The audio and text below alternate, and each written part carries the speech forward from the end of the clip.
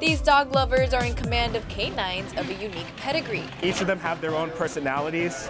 Uh, like, you know, we have Fressa, she's really feisty. Bambola is just crazy. Joshua Roberts is talking about Aibo, Sony's robotic dog. He has four and might even add another pup to his pack.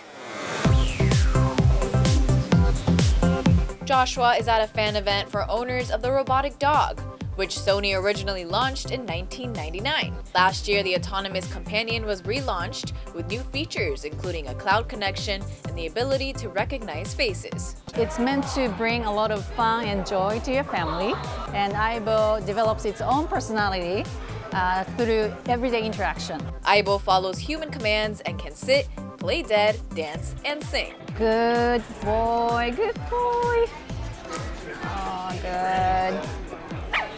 Aibo has 22 joints, a lifelike tail, and OLED eyes that help bring it to life. There are also sensors, cameras, and microphones to listen and watch for your commands, plus a cell connection to teach it new tricks. Anytime we push out the software update or seasonal update, uh, automatically Aibo receive the, all the updates. The battery-powered pooch can even walk itself to its charging station.